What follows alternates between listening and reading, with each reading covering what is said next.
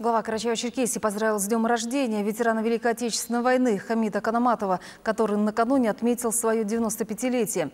Мужественный, честный, очень порядочный и добрый Хамид Абулович является одним из ярких представителей поколения героев-фронтовиков, людей, которым мы обязаны жизнью и мирным небом над головой. Примите слова искренней признательности и благодарности за сегодняшний мир и счастье, за надежное будущее многих поколений. И сегодня Хамита Канаматова от имени главы республики поздравил и вручил подарок представитель правительства Сафарби Кирейтов. Наша съемочная группа стала свидетелем теплой беседы и тоже пообщалась с юбиляром и его семьей. Альбина Курачинова-Кенжева продолжит. Как только переступаешь порог дома Канаматовых, чувствуешь атмосферу добра и искренности, трудолюбия и взаимопонимания. Несмотря на свой почтенный возраст, чита Канаматовых встречает гостей стоя, то и дело отвлекаясь на поиски старых фотографий или документов. От имени главы республики Сафарби Кирейтов зачитал приветственный адрес и вручил в подарок большой плазменный телевизор.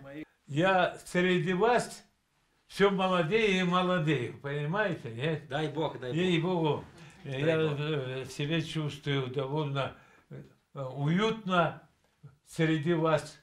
И не жалею, что прошел такой сложный путь, жизненный путь.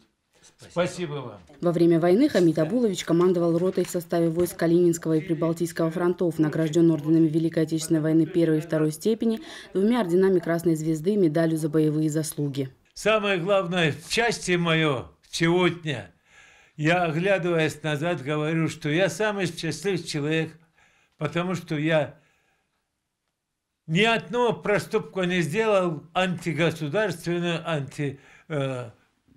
антиконституционного шага. Я никогда не сделал. И всегда у меня сон был сладкий, спокойный и хороший. Вот такой в жизни я прошел, В этом году Канаматовы отпразднуют еще и 60-летний юбилей совместной жизни. Со своей супругой Розой Исмаиловной воспитали сына и дочь, помогли ставить на ноги их детей. Также принимают участие в воспитании правнуков, называют себя счастливыми людьми. Главное самое – взаимное уважение. Друг друга уважать. Ну и чего, не знаю, какие-то проблемы. Нет, он человек такой, что э, с ним нельзя плохо обращаться, потому что с такой по натуре. Альбина Курачинова, Кенжева, Рашид Токов, Вести, Карачаева, Черкесия.